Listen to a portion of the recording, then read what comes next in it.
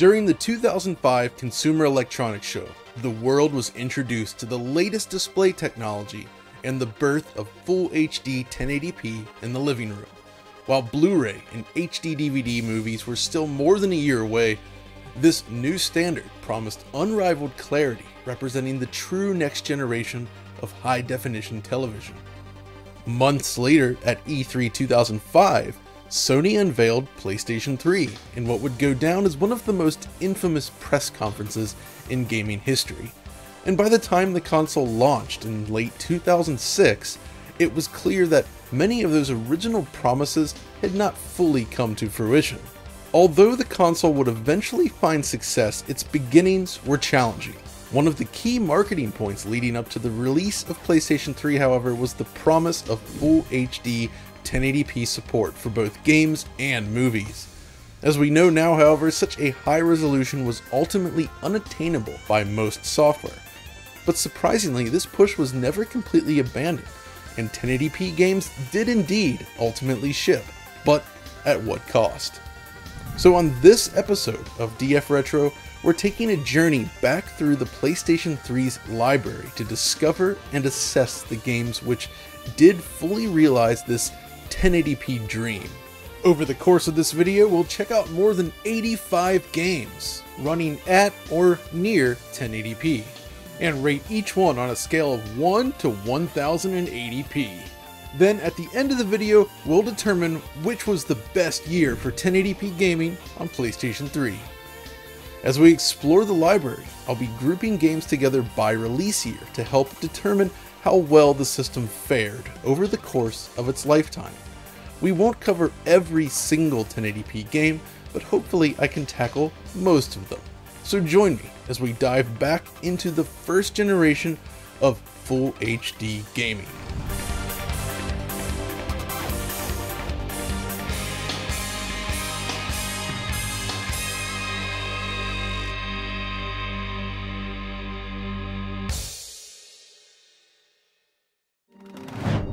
The Cell Broadband Engine.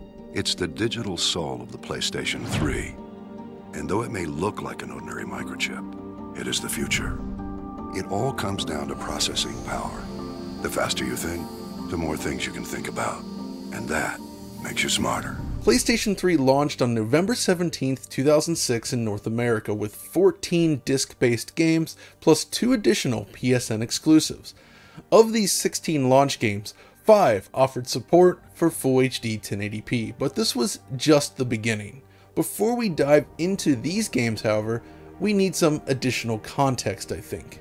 So one year prior to the arrival of PlayStation 3, Microsoft was first to market with its next generation machine, the venerable Xbox 360. And this console had already defined expectations for next generation gaming with a slew of impressive releases including the then brand new Gears of War, which handily demonstrated the capabilities of Unreal Engine 3 that would go on to dominate the generation.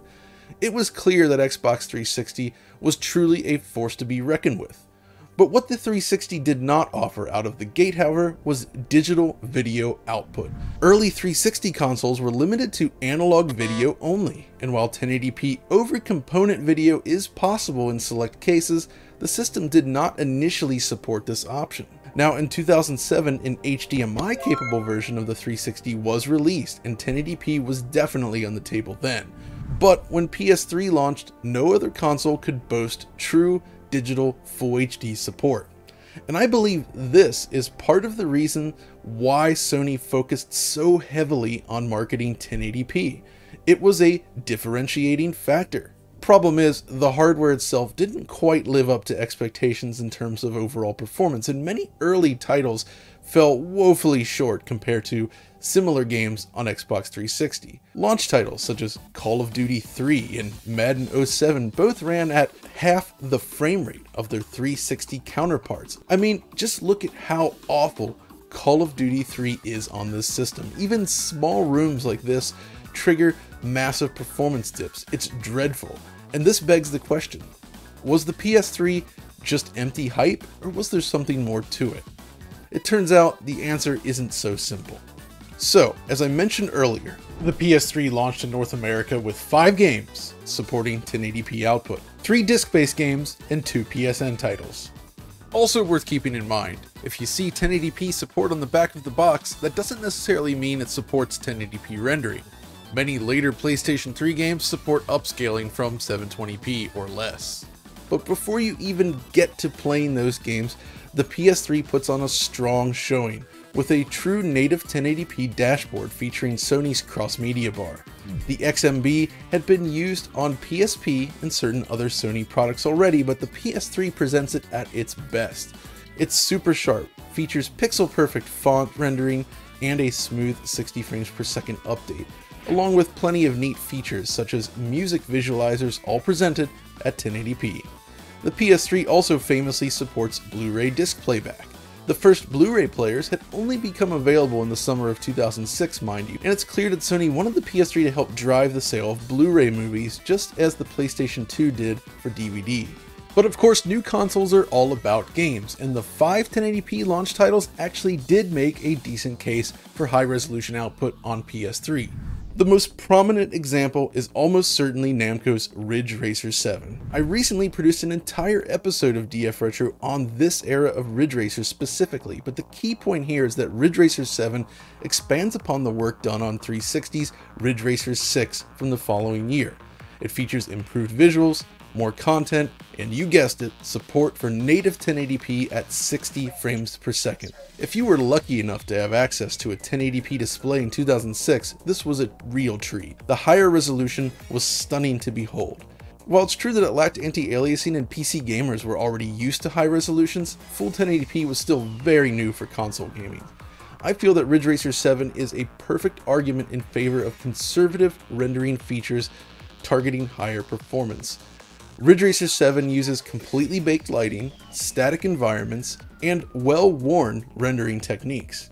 It kept pixel shader usage to a bare minimum and avoids things such as cascaded shadow maps entirely, something that would come to dominate this generation.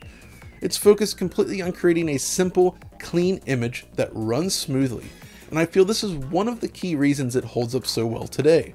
The art design gels with the fast performance and crisp image quality perfectly. Performance-wise, Ridge Racer 7 holds up with a generally very stable performance during gameplay. 60 FPS is the target and that's what you're going to get in most scenarios. That said, there are occasional fleeting moments where you can dip the frame rate for just a moment, usually when combined with the boost feature. But thankfully, it's a minor issue and overall it holds up very well. Ridge Racer 7 remains one of the finest examples of 1080p 60 on PS3, thus it receives the coveted Full HD award, all 1080p's. Another key 1080p launch game then is, and I quote, NBA 07 Full HD 1080p. Look, it's right there on the box. Are you really going to argue with that? Yes, Sony's first sports game on PS3 already serves as a strong example of what's possible when keeping your rendering ambitions in check. Like Ridge Racer before it, NBA 07 aims to deliver a native 1080p presentation running at 60 frames per second. It even warns you on startup that you're gonna need a capable 1080p TV and suitable HDMI cable to experience it. NBA 07 is the product of Sony's San Diego studio then, which was also responsible for the long-running MLB The Show series, and while it's visually conservative to say the least, they did manage to include some visual features that I think elevated above what was possible on last generation machines. For starters, player models are reasonably detailed and manage to feature normal mapped uniforms. But more impressive is the fact that they all have cloth simulation. Now, by today's standards, it's rather quaint, but for 2006, the way the shorts and jerseys bounce around as the players take to the court is reasonably impressive. This is coupled with planar reflections used on the court surface, with the surface texture itself using shaders to realistically distort those reflections across the uneven wooden surface. It looks pretty good, I think.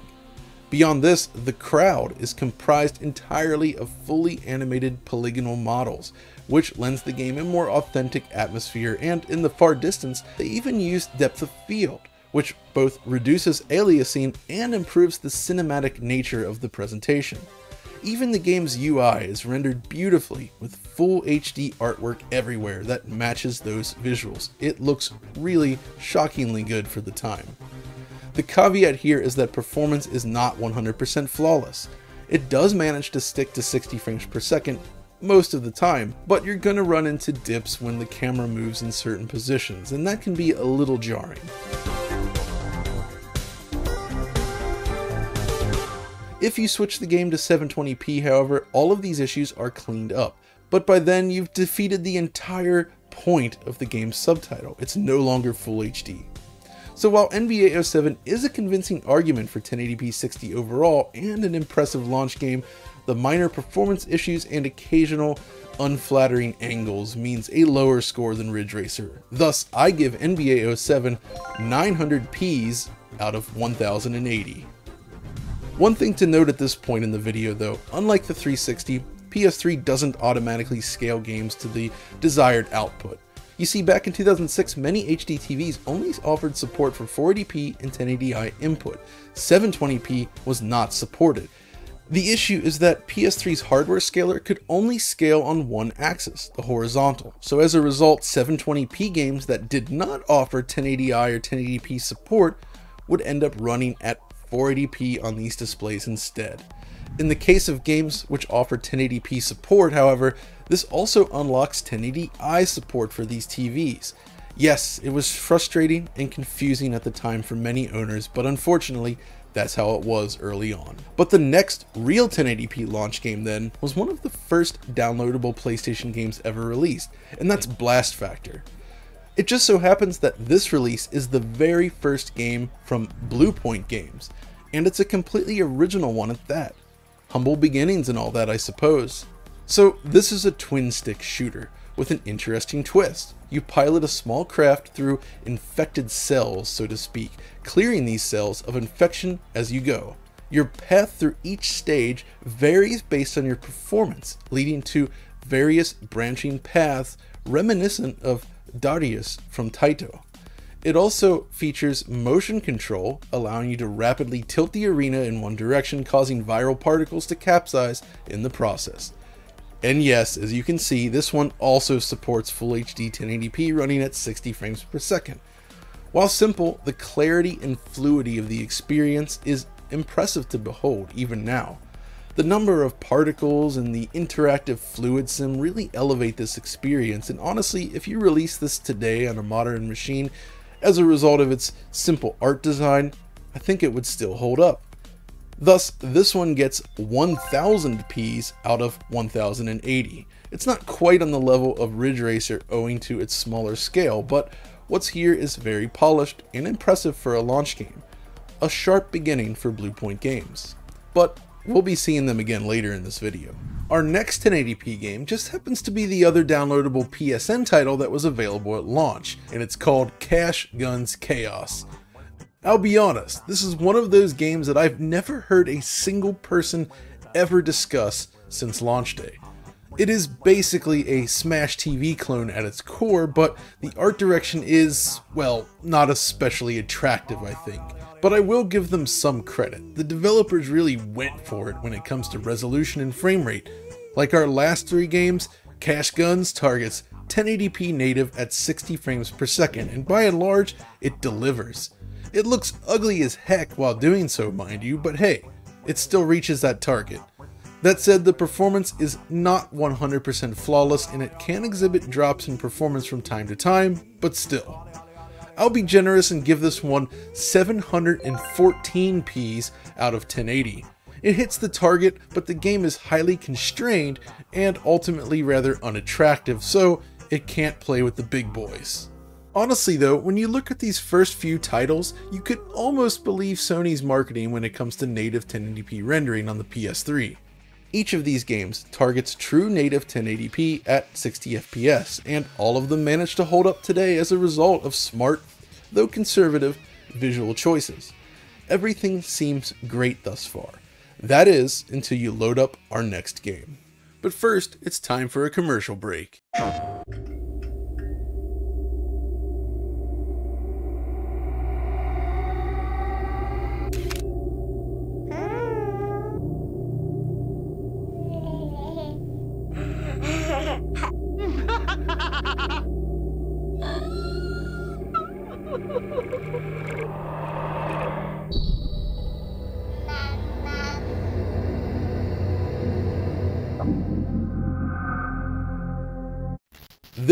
Marvel's Ultimate Alliance, our fourth and final 1080p launch game for PS3, and as you can see, it's kind of a mess. So, Ultimate Alliance is the creation of Raven Software and was developed using Vicarious Vision's Alchemy engine. It first arrived in October across multiple platforms, including Xbox 360, the PC, PlayStation 2, the original Xbox, and PSP. The PS3 iteration, though, would launch a few weeks later alongside the new console. Now, the Xbox 360 version was the best looking of the bunch at launch, and the PS3 version is derived from it. The main difference is that PS3 supports native 1080p output. Unfortunately, it does not run well in this mode. As you can see, it averages out to roughly 20 frames per second, but often dips below that, going as low as 12 FPS in heavy sequences, and this is just the beginning of the game, mind you. For a title played from an overhead perspective with a significant amount of lateral motion, this renders the game nearly unplayable in my book. It feels awful to play.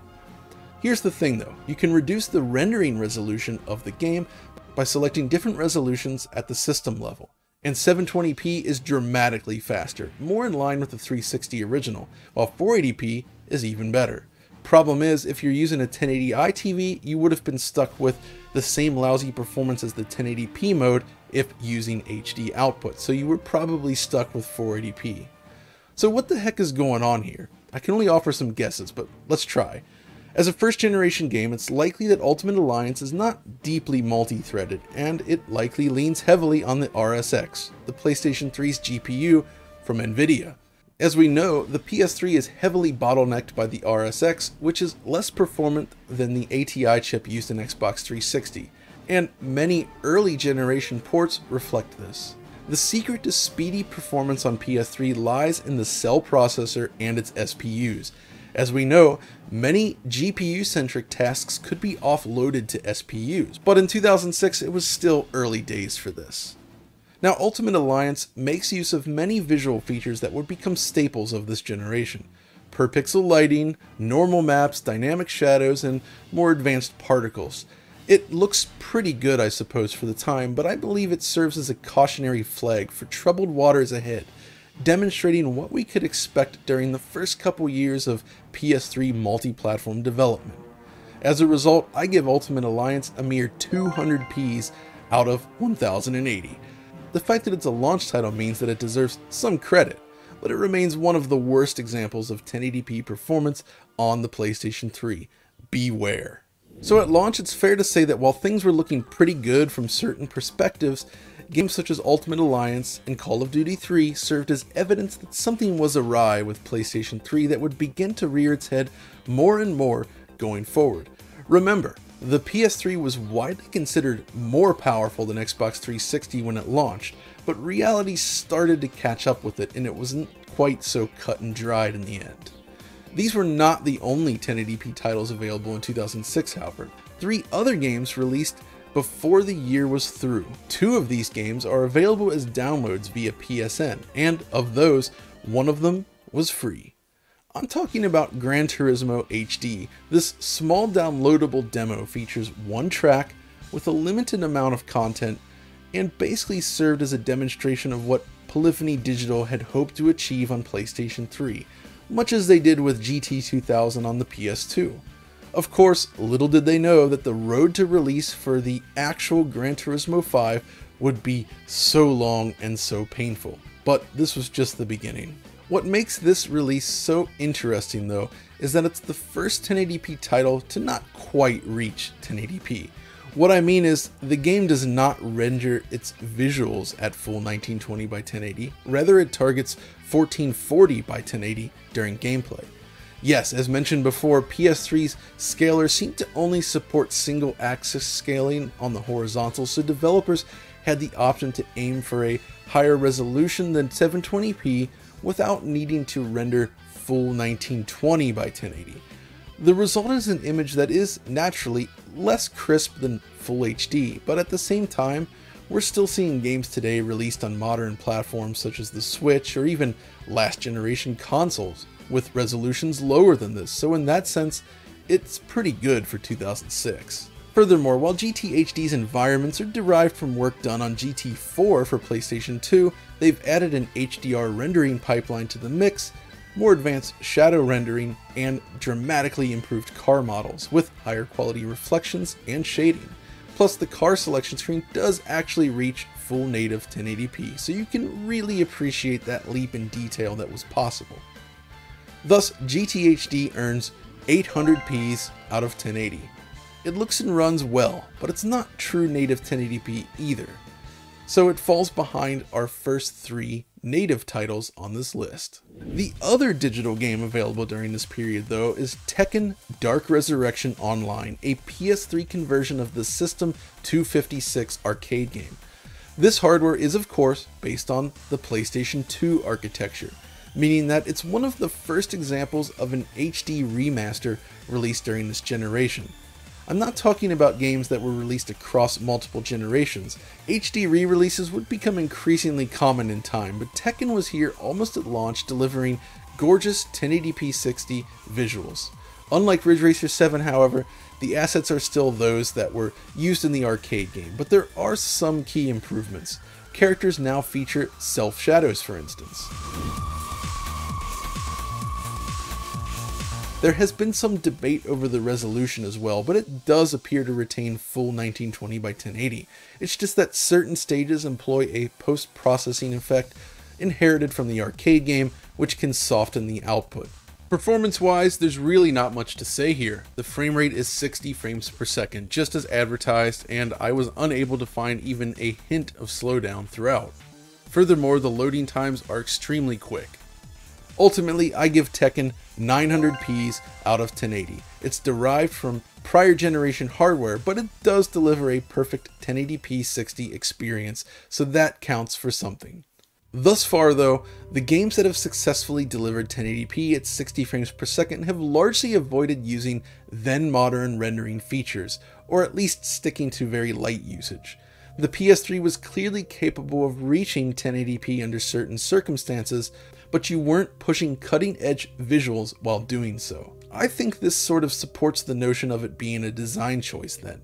Developers that targeted 1080p needed to make certain that the choice was made early on in order to keep their visual targets in check on the way to the finish line.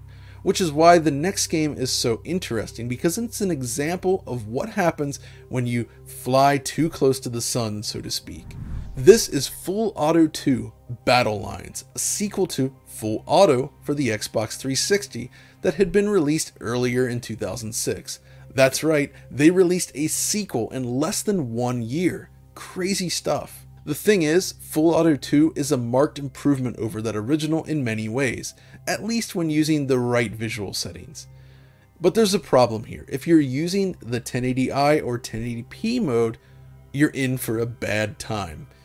You see, the developers not only opted for full HD 1080p rendering in this mode, they also enabled 4x multi-sampling anti-aliasing, or MSAA, surprisingly high texture filtering, and high-res particle effects, while building a game that features loads of destructibles and then modern rendering features.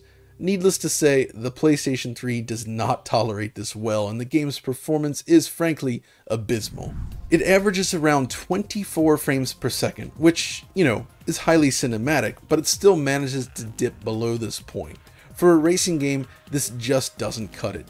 Image quality is shockingly clean though, resembling what you might expect from a high-end PC game of this era. While combating the enemies though, there is also a way to combat the frame rate drops, and that's by selecting either 480p or 720p from the XMB. The rendering resolution is then reduced and performance is massively boosted. Now, it's still wildly unstable, mind you. There's no frame rate cap, so it can go above 30 for instance, but it's a lot more playable. 720p is the sweet spot, I'd say, but if you drop all the way to 480p, performance improves even further. So, like Marvel before it, this is another case where the user needs to be aware of their video settings in order to properly enjoy the game. As a result, this one only gets 512p's out of 1080. It's not nearly as bad as Ultimate Alliance, but still, it has some serious problems in 1080p. But with that release out of the way, we've reached the end of 2006 and the first month of PlayStation 3's life. At the end of each year then, we'll tally up the full HD scores, divide by the number of 1080p games that year, and present this, the grand total. This means that 2006 earns 763 Ps out of 1080. And at the end of this video, we'll determine the best year for 1080p in the history of the PlayStation 3. So, let's keep moving. What does 2007 hold for the system? Let's find out. The world is our stage, and we are the entertainment. Blu-ray to make everything more 2007 is perhaps the PlayStation 3's most difficult year, but also one of its most interesting. The console would finally arrive in Europe in March of 2007 with revised consoles lacking hardware support for PlayStation 2 backwards compatibility, relying instead on a partial software solution. But hey, at least the lineup of games was a lot better. More importantly, on March 13th, 2007, the world was introduced to Chad Warden. Sup, it's Chad Warden here. Alright, I'm talking about that PS Triple. The PS Triple. I ain't talking about that Wii.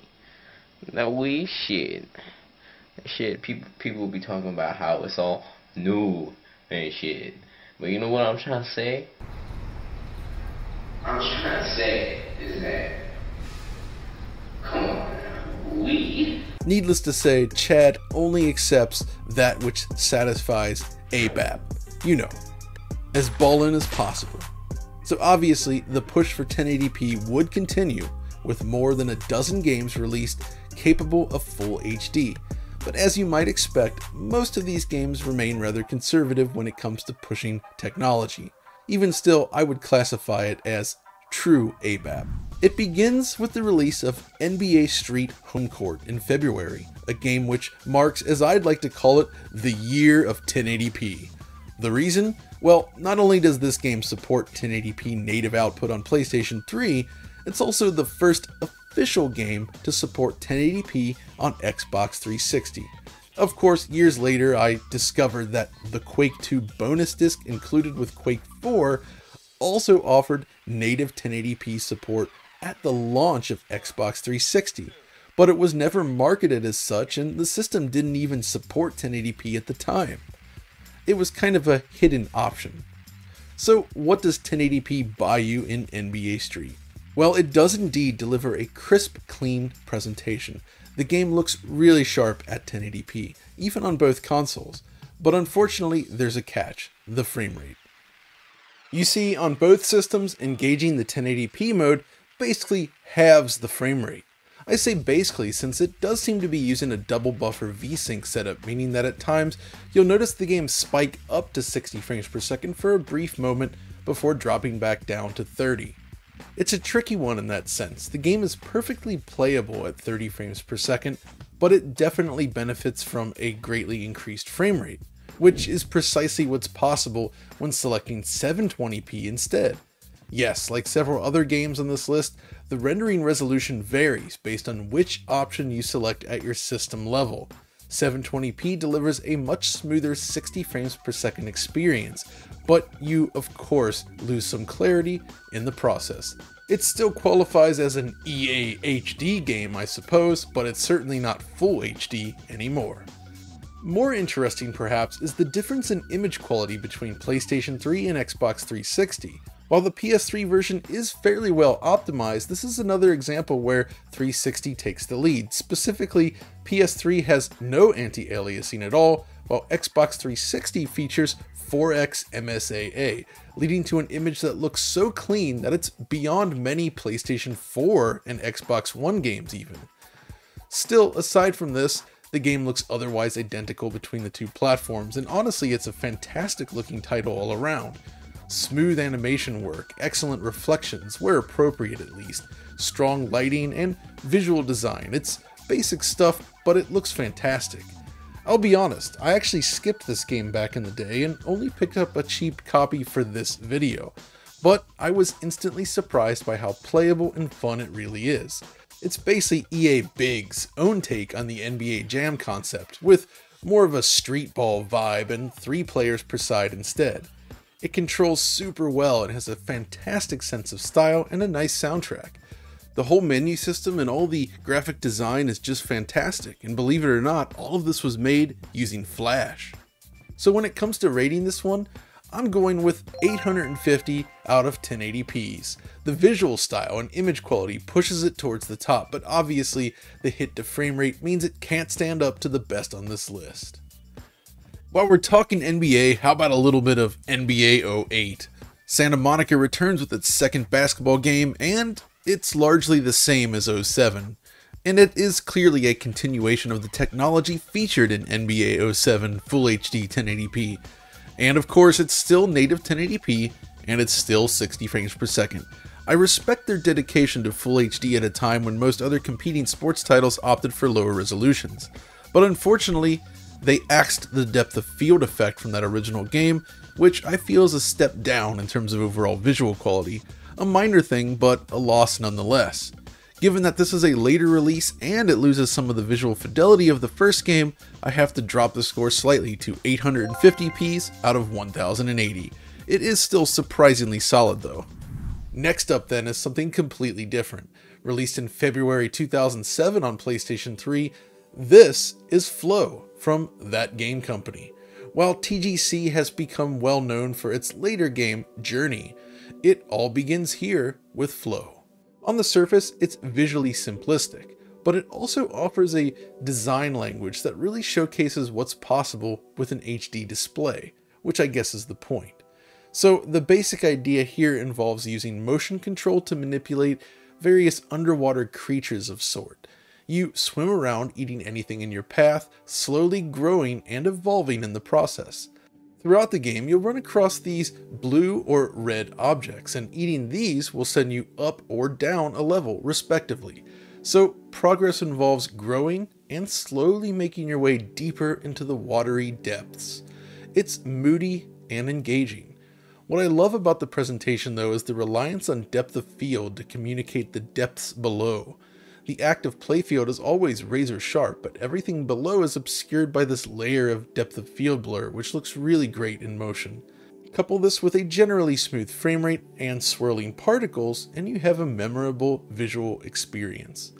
Flow takes advantage of 1080p displays by rendering from a higher resolution then, it seems to render at 1440p internally, downscaling to lower resolutions including 1080p, so it's basically relying on super sampling to achieve its image quality. Now, the frame rate can dip slightly in certain later stages, unfortunately, but the overall experience is fluid by and large.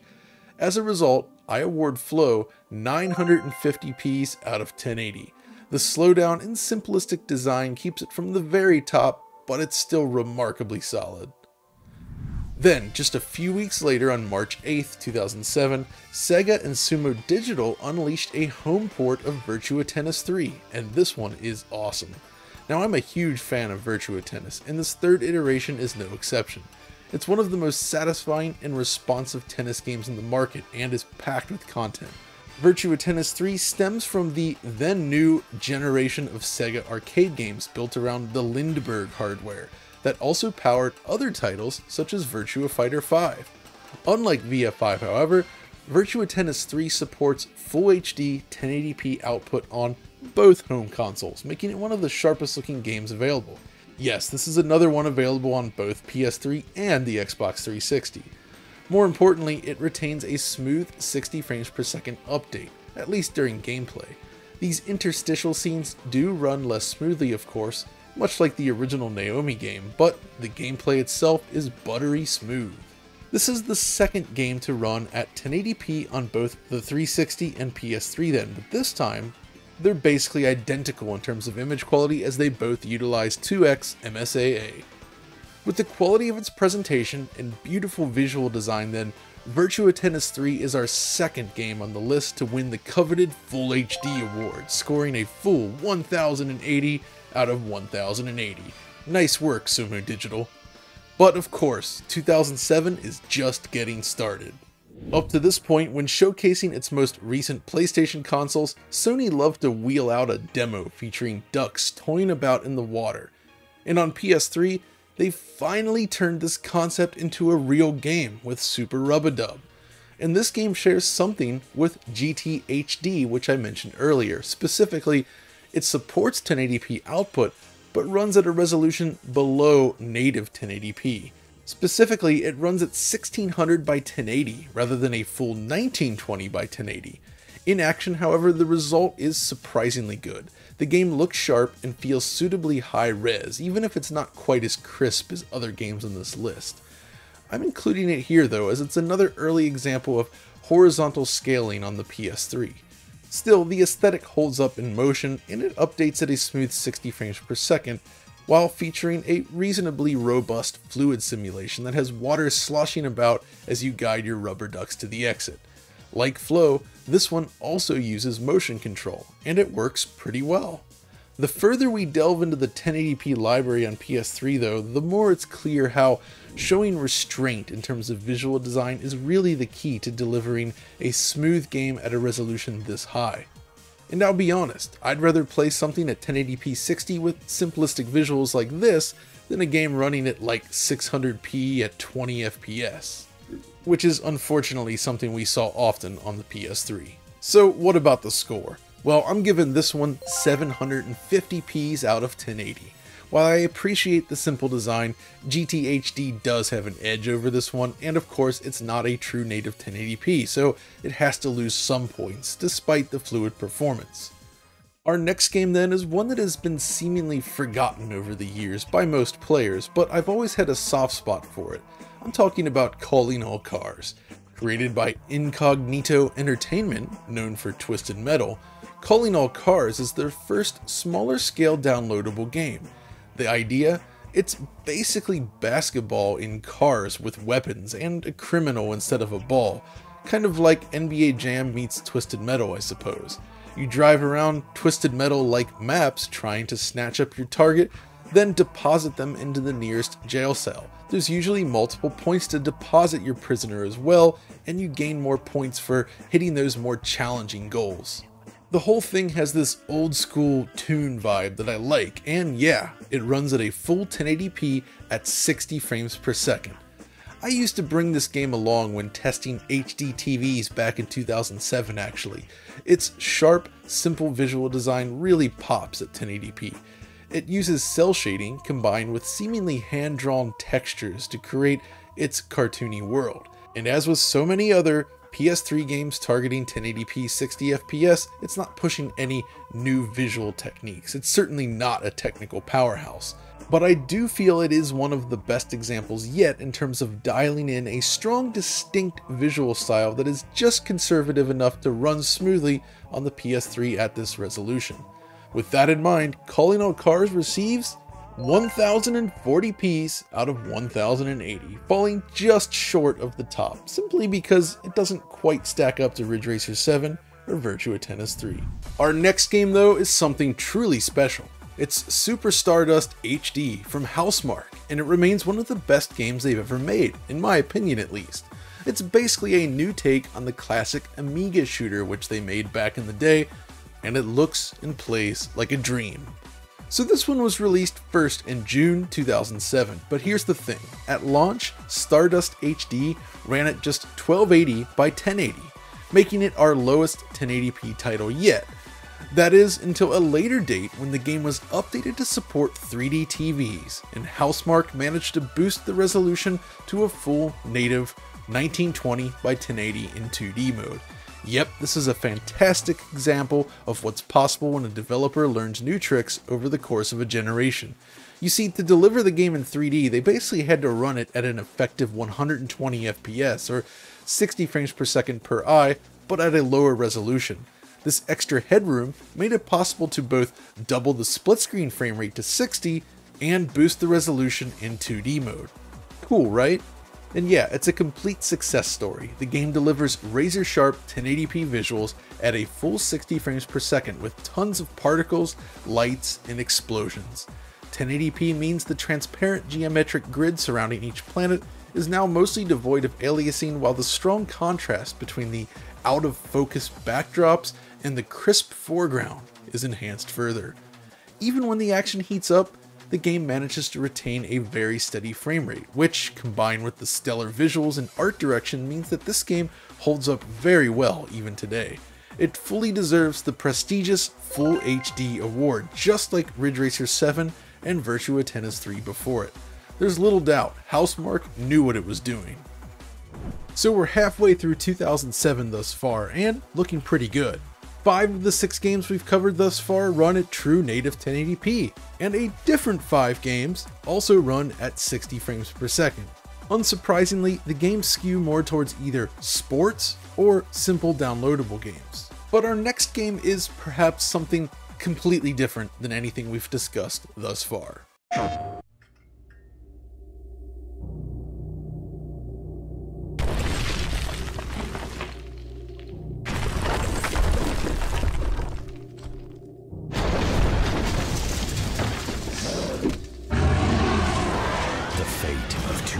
Is in your hands. Lair. Rated T for teen. Only on PlayStation 3.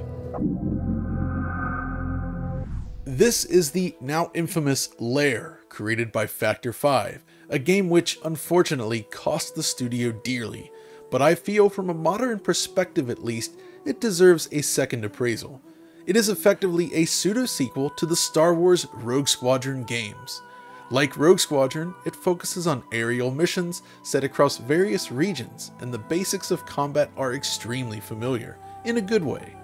Problem is, at launch, Sony wanted the game to become a showcase for the system's motion control feature, something Factor 5 was seemingly not too keen on according to various interviews. Furthermore, the initial review build that went out to press was even less polished in this regard than the final game, leading to less than stellar review scores. Following its release though, Factor 5 went on to update the game with new options including support for analog controls and even the addition of a Rogue Squadron style reticle. But alas, it was too little, too late, and the game was doomed. Back in the day though, I did manage to have some fun with those motion controls. They're honestly not bad, but certain moves, such as the 180 turn, were difficult to execute and it could become frustrating as a result the addition of analog controls mostly solves this, leading to a more enjoyable combat experience all around. Beyond this, the actual missions are pretty ambitious and large in scope, with so much happening on screen. It felt like a massive leap over what we had already seen in the impressive Rogue Squadron games in that sense. Beyond that, Lair has a superb musical score. Take a listen.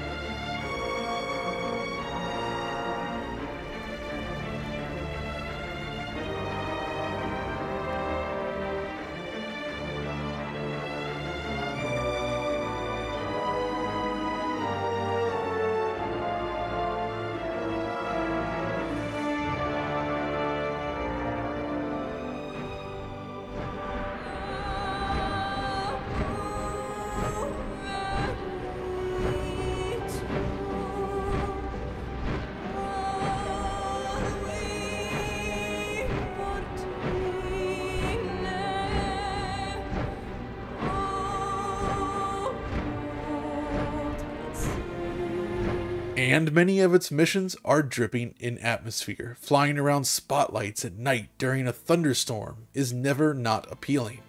So, how does it fare visually then? Well, expectations were high for this game, of course, and the team delivered in many aspects, but it also falls short in others. Basically, in terms of image quality, Lair is technically our lowest resolution game discussed yet today, but its approach is fascinating.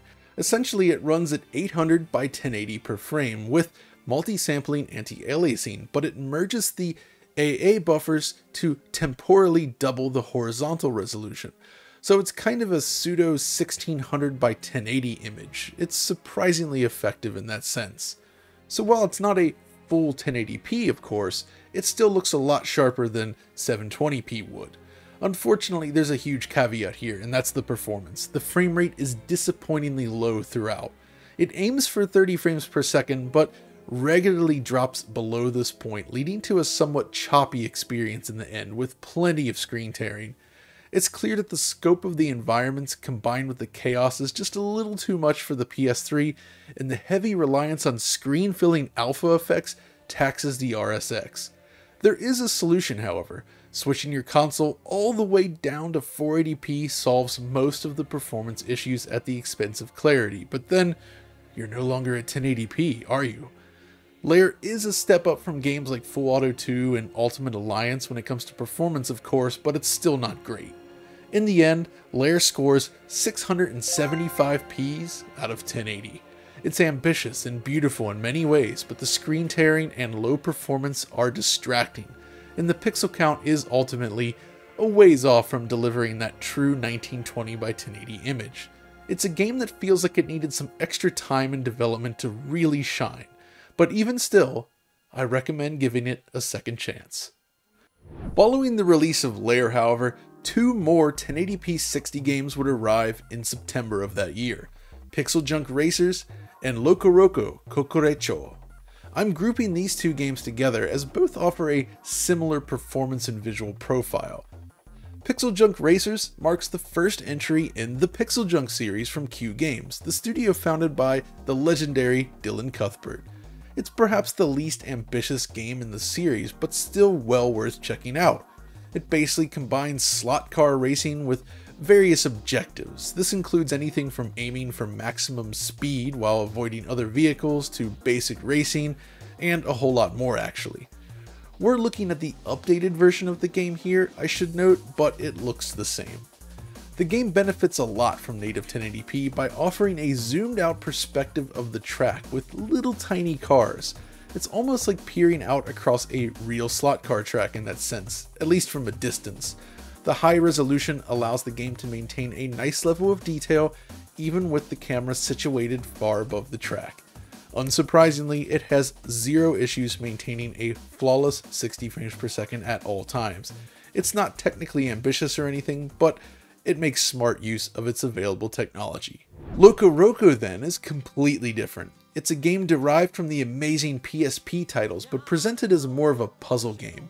You guide a butterfly cursor around the screen while trying to collect and manipulate the LocoRocos.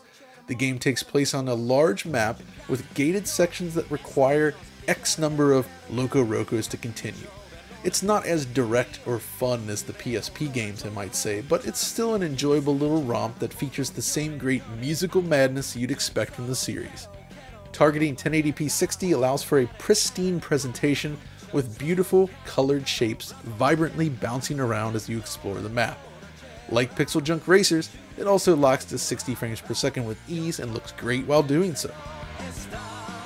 As a result, I'd like to award both games 1020 Ps out of 1080. While unambitious visually, they each perfectly execute what they set out to achieve without any technical hiccups along the way. While we're on the topic of smaller scale titles then, another 1080p game worth mentioning is Everyday Shooter.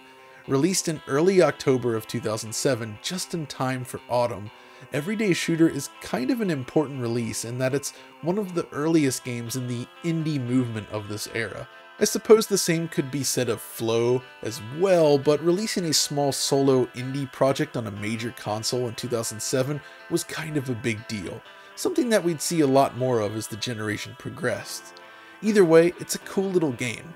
It started out on the PC before the PlayStation 3 version, but it's much improved in terms of overall presentation and feel. It's basically a musical shooter where each stage is a unique song with its own combo system. It's fun, simple, and clean with a super sharp native 1080p presentation. It's another game that could still be released on Steam right now, and it wouldn't feel out of place. That said, it's not quite as fluid as our last two games, so I'd give this one 980p's out of 1080. But our next game is, well, take a look. Just one year prior, Disney and Pixar unleashed Cars into theaters, and it quickly became one of the most popular films in Pixar history. So, of course, they had to cash in on this with a game, right? Enter Cars Mater National Championship, the greatest game of the generation. It has Lightning McQueen, it has Mater, it has racing. It's basically Forza Horizon before Forza Horizon. And, okay, well, I'm kind of teasing here, but honestly, it's a whole lot better than I expected. So, firstly, it's developed by Rainbow Studios. You know, the developer behind the ATV Off Road Fury games on PlayStation 2, among many others, I should note. I love Rainbow's work and somehow missed that they were involved with this project. Of course, we're talking about the PS Triple version here, which was actually made by Incinerator Studios, and this of course runs at Full HD 1080p. Yet this one is a true 1920 by 1080 game as well, but this time with Quincunx MSAA. Remember that one?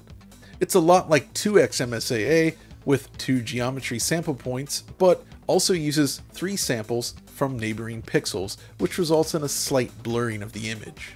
So at its core, Cars Mater National lets players run loose around Radiator Springs, taking part in various events and races along the way. Again, kinda like Forza Horizon as we know today. It's surprisingly alright. In fact, I'd go so far as to say it's a competent and fun racing game.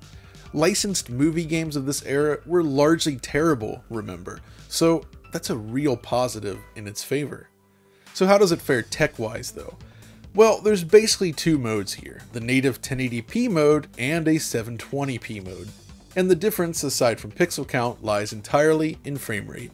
At 1080p, it's basically a 30 frames per second game with screen tearing, while 720p targets 60 instead.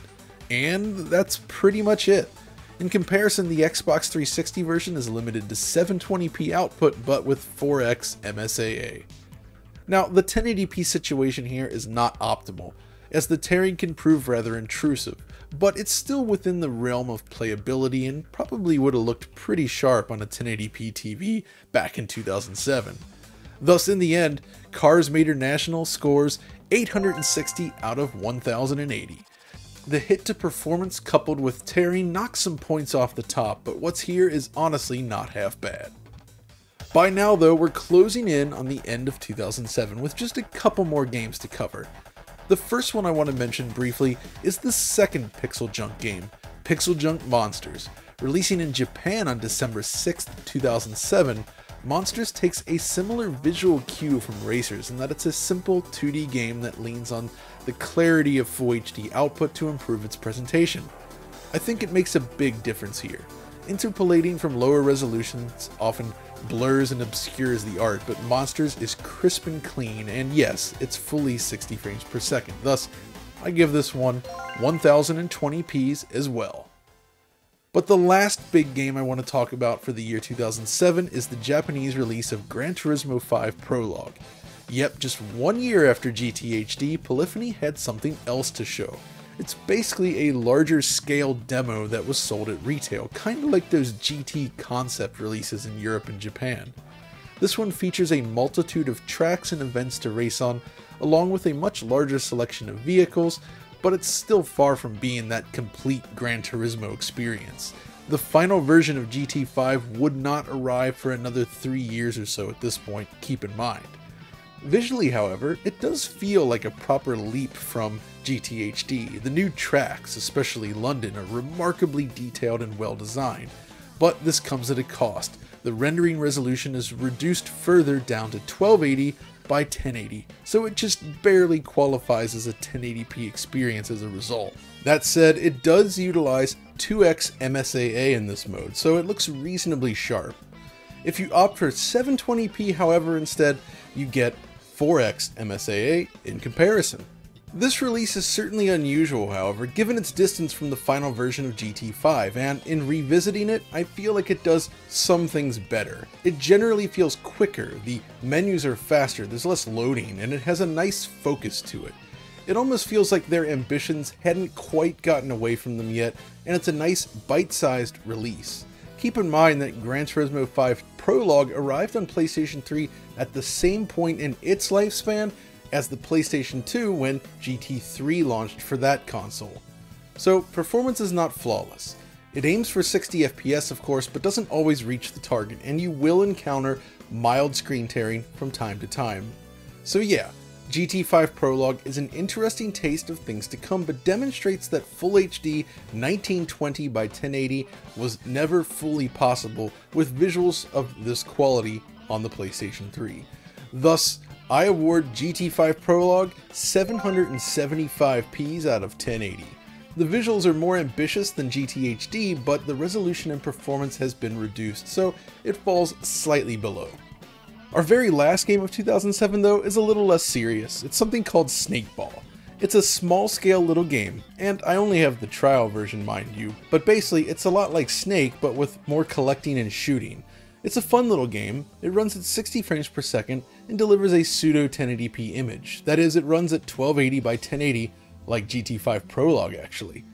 I don't really have a lot more else to say about it, but I did want to squeeze it in here as this one's surprisingly not bad. Since it falls at the low end of 1080p though, and is rather constrained in its scope, I think it deserves 725 out of 1080. And our grand total for 2007 is 912 Ps out of 1080. A nice step up from the launch year. With that, however, we've reached the end of 2007.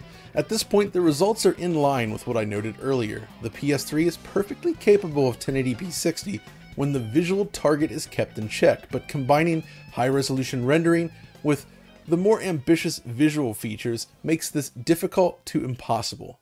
Furthermore, while there are many interesting releases for PlayStation 3 in 2007, it was also a difficult year where both Xbox 360 and Nintendo Wii seemed to dominate the conversation, and 360 typically had the advantage in terms of performance. In 2008, however, things would begin to improve for the PS Triple. Next time on DF Retro, we'll continue our exploration of the PlayStation 3's Full HD library by tackling 2008 and 2009. Now this period would prove difficult for the console, but the 1080p dream was still alive and well. The next two years certainly run the gamut in terms of quality.